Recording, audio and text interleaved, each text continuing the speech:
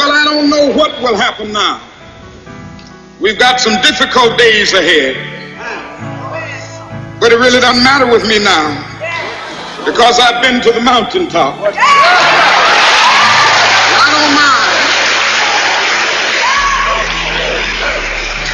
Like anybody, I would like to live a long life. Longevity has its place.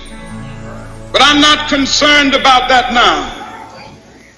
I just want to do God's will. And He's allowed me to go up to the mountain.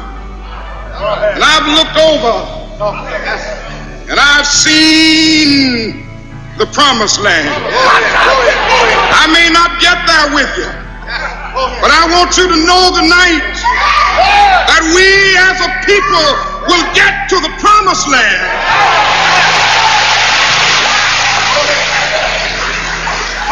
So I'm happy tonight. I'm not worried about anything. I'm not fearing any man. Mine eyes have seen the glory of the coming of the Lord.